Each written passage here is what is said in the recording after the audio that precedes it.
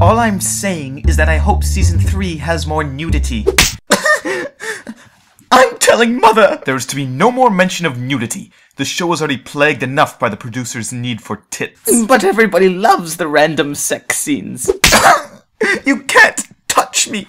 I'm a king! I'll just decree that season 3 should have twice as much nudity. Say nudity one more time. I dare you. Just because you don't like the nudity in it.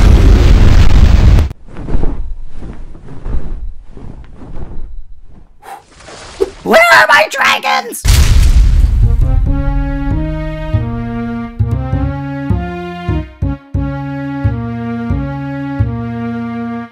Did, did you see something?